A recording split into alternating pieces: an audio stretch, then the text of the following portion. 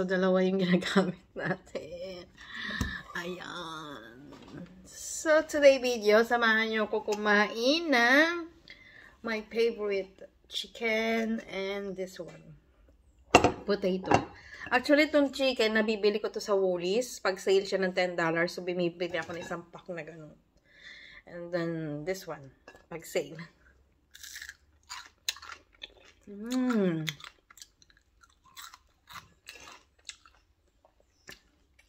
Kaya lang guys, malutas lang tayo. Pero hindi ko alam kung ano yung mamalutas ko sa inyo. Samahan nyo lang kumain. Mmm.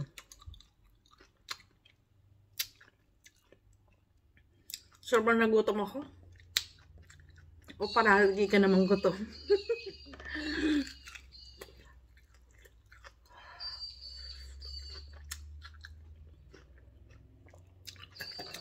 Alam niyo guys, kaya tayo nakapag-vlog. Nakapag-tiktok everyday kasi wala tayong trabaho. kasi napakabait sa akin ng boss. Napakabait sa akin ng boss namin. Ayaw kong makita. Kaya hindi niya binibigyan ng ship. Wala naman tayo magagawa, hindi ba? So, siguro, naghahanap na lang ulit tayo ng bagong trabaho. Nag-start na ako mag-apply. Pero ganun pa rin. Mahirap wala tumatawag, hindi ba?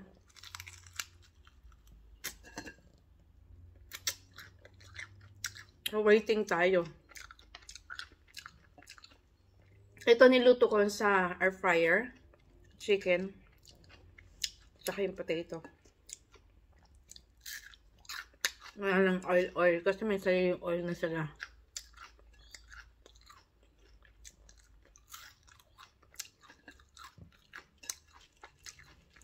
So, yun guys. Start pa ng August 30. Yeah, August 30. August 31 din yun ako binigyan ng ship.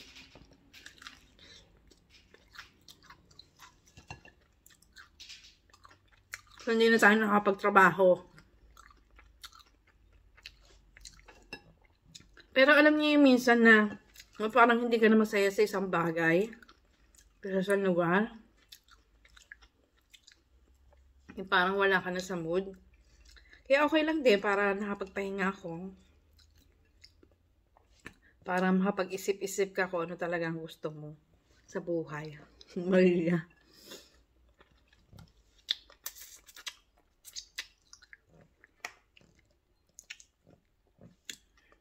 Kaya alam niyo, maswerte yung mga tao na pagpupunta sa ibang lugar, tapos nagkakaroon kagad ng magandang trabaho na gusto mo, napakaswerte mo.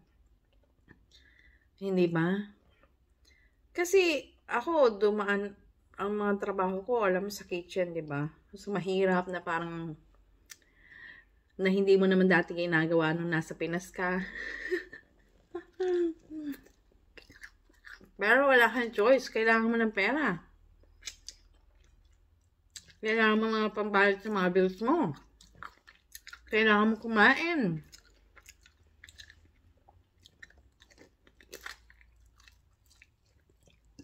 Kaya maswerte kayo, yung iba dyan, ngayon pupunta na sa ibang bansa, tapos nagkakaroon na kayo ng magandang trabaho, napakaswerte na. Kaya yung iba nainggit ako na nalalaman ko yung maganda yung trabaho nila. Tapos parang hindi, sila, hindi nila seryoso. Alam mo yun?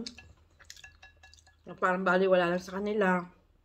Kasi nga baliwala. Sa akin meron yan. Kasi gusto ko yung ganyan trabaho. Alam mo yun, yung mga chill-chill lang.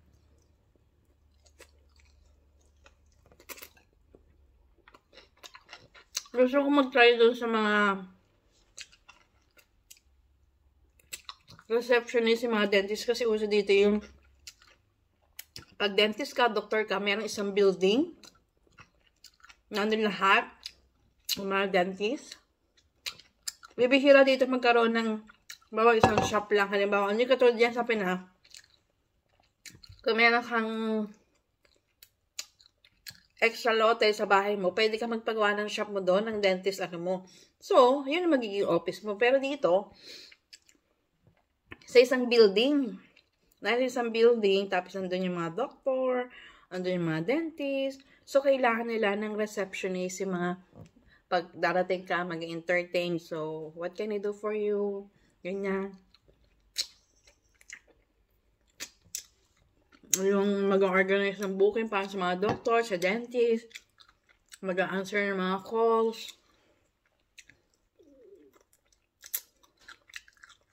Gusto ko yung ganung work. Alam mo yun? Hindi mo alam, no? diba? Yan isa kang unang-unang gusto magkaroon ng work na ganyan. Pwede naman tayo dyan. Kaya lang syempre, parang dito, pinaprioritize yung talagang citizen, ganun. O yung mga puti, ganun. Ewan ko basta. Tsaka, nahiya din ako mag-apply sa ganun. Nagtatry ako minsan, pero nahiya rin ako mag-apply sa ganun. Alam niyo bakit? Kasi nga, hindi tayo magaling mag-English. diba guys? Hindi ako ganun ka-confident na sa English. But I try my best na mag-English-English tayo dyan. Tapos, in second, na gusto ko magkaroon ng trabaho dito, ma-experience ko. Yung makapagtrabaho ko sa mga mall, sa mga shop, yung mga shoe shop, yung mga sa mga damit, ganyan. Sa mga Kmart, Target, kasi ano, wala silang uniform and then and then susutin mo lang yung gusto mong suotin ba? Yung parang chill lang na parang pupunta ka lang ng mall pero magtrabaho ka and then mag-assist ka ng mga tao, ganun. Pwede yun sa akin yun. Gusto ko yun.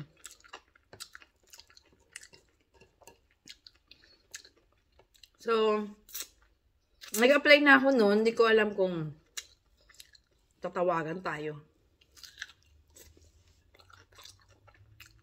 Kasi,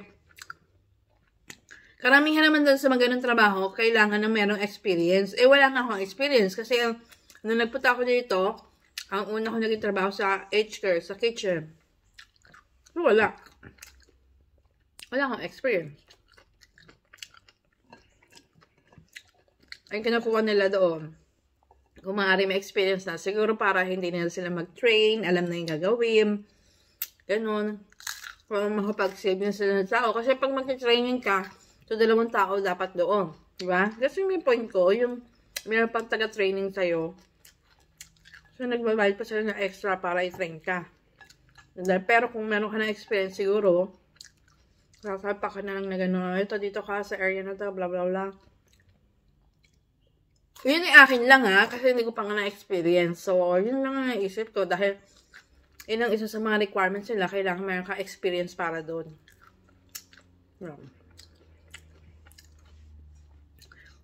Pero yung unang punta ko dito, gusto ko magtrabaho sa age care. Ay, no, no, no, sa child care sa mga bata na kasi dito, if you working mom, at yung mga walang titingin. Dahil syempre walang titingin sa mga bata dahil wala na yung mga parents nila nakabukod na sila kasi pag na once na nag-asawa ka, nakabukod na sila ng bahay. So kung gusto mo magtrabaho ni mami, kailangan iwan mo yung bata sa child care. Yeah. So magbabayad ka doon. Per hour ha, per hour. Eh, hindi ka tulad sa atin sa Pinas. Pero yung mga Pinay na nandito, halimbawa gusto magtrabaho, kinukuha nila yung parents nila, nanay o tatay, excuse me, para may mag-alaga sa mga anak nila habang nasa trabaho sila, ganun. Kasi pwede nilang i-tourist ang parents or kuhanin for 3 months for tourist, ganyan. And then meron tayong ano tawag doon? PR o parang stay na magdito yung parents para yun. So yun, kung pinay ka na nandito ka at gusto mo magtrabaho, kukunin mo na lang ang mga isa sa magkamag-anak mo, parents mo, kapatid mo para may titingin sa anak mo habang ikaw ay nagtatrabaho. Ganun yun. So yun yung gusto ko magtrabaho. Kaya lang, minsan naisip ko, mag-google pa ako ng time para sa pag-study, o, oh, syempre, para makuha mo yung ganun trabaho, di ba? Kaya lang naisip ko nga dahil nga, matanda na tayo. so, hindi ko pinapriority yon alam nyo guys. Get nyo yung point ko. Kung, halimbawa, natatanggap naman ako sa ibang trabaho, mas, mas bibigyan ko ng time yung kumita ng pera kaysa maglabas ng pera. Di ba? Kasi nyo, kasi, oo, magkakaroon ako ng kasi hindi ka basta-basta pumasok sa childcare eh. Kahit yung sabihin mong mag-aalaga ka ng bata, magpapadede ka, magbangan. No! Hindi ito kailangan kang certificate. Kailangan, alam mo, may knowledge ka para doon sa pag-aalaga ng bata. Pero sa atin, hindi ba? Kung mag-aalaga ka lang ng bata, o maglilinis ka ng bahay, hindi na kailangan ng, ay, ng certificate pero dito, hindi. Kasi meron mga parents na alam na complain-complain ko, no. Mahirap din, di ba? So, kailangan meron ka certificate. So, yun nga. Hindi ko pinapriority ang mag-study. Kung meron naman ako, matatanggap naman ako sa trabaho. So, mas pipiliin ko magkaroon na, kumita na ng pera kaysa mag-study at maglabas ng pera. Pero pag talagang no choice ka na, talagang wala ka nang gagawin, siguro, mag-try din ako mag-study. Pero alam niyo ba, guys, na ano ko rin yung mag-study naman ako sa mga hair, facial, you know, massage. Meron yan sa atin eh, sa atin sa Pinas, yung parang test da ba yun? Yun, test da. So, meron ganun. May mga ino-offer din dito. Tapos, once na meron ka ng certificate para doon, pwede ka na magtayo ng sarili mong salon. Yun naman yung advantage nun. So, parang iniisip ko, parang yan ang gusto ko, diba, chill lang, at least nakakalabas ka, and then, dahil mga arty tayo, mahilig tayo mag-ayos sa mga hair, and then, uh, kahit hindi tayo magaling mag-makeup, pero gusto natin yung mga ganong eksena sa buhay. Pero siguro, magiging first priority ko kung gusto ko mag-study, yung nag-study ko, yung, um, ano ba, may tawag dun eh, yung, yung pag-ayos ng eyebrow, eyelashes, facial, massage, everything, hair, makeup, ganun, may study yun. Pero dito guys ha, hindi katulad dun sa atin, manicure, pedicure, may study, kailangan meron kang certificate. Pero dito guys, bukod-bukod. For example, gusto mong mag, uh, gusto mo matutong magkabit ng eyelashes, bukod yung study na yun, bukod yung course na yun. Eyebrow, bukod din yun. May ano, manicure, pedicure, bukod din yun. Hair, bukod. Makeup, bukod. Hindi yung isang baksakan na, oh, iso, ganyan. So, gagastos ka rin ng malaki. Actually, sorry.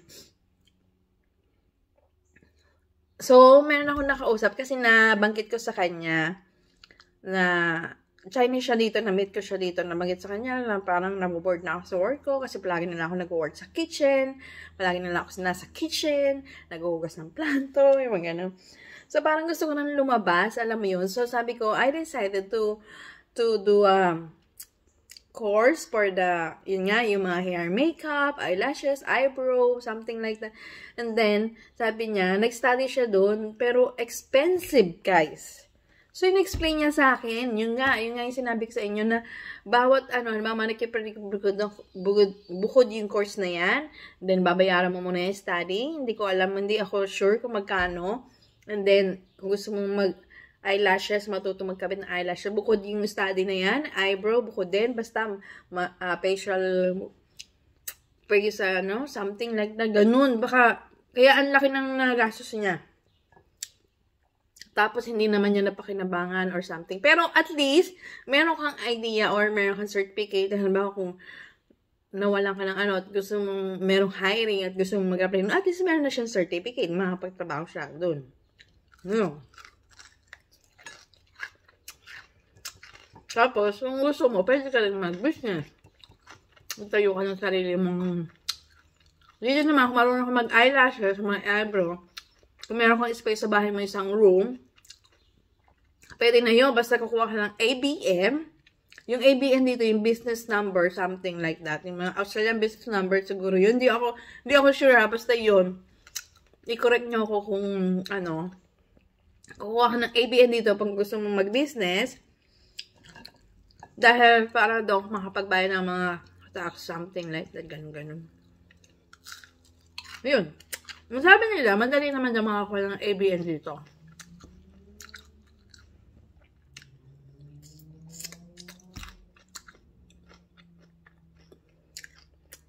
So, yun lang guys. Hindi pa natin alam kung ano magiging susunod na work natin. I-update ko kayo guys. Gusto ko kayong palagi i-update. Gusto ko kayong i-share sa inyo lahat ng mga nangyayari sa buhay ko. Kung meron man tayong binibili online, sinishare ko sa inyo. Kung meron tayong kinakain, sinishare ko sa inyo. Kung meron akong gusto i-marites, yan.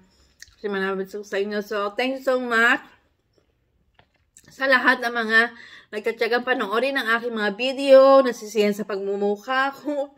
Ayan, so, gusto malaman ng buhay natin. Basta guys, mahal ko kayo. At gustong gusto ko itong ginagawa ko. Kaya sana, don't forget to subscribe guys. Huwag niyo naman ako kalimutan. Mag-subscribe naman kayo. Please. so, meron tayong 285 subscribers. So, dagdagan nyo naman, guys. ba diba? So, kasi every time na pag nag-open ako at check ko ang ating YouTube channel at meron ako nakikita at isa na ng isa, I'm so happy, guys. Napapasaya nyo ko, o ba diba? So, kayo ang nagpapasaya sa akin. Sa lahat naman nanonood sa akin, sa lahat naman nakasubscribe sa akin na hindi nagsasawa. Thank you, thank you so much sa inyo lahat. Mag-ingat kayo and God bless. Thank you so much guys. Sa susunod na video. Mwah!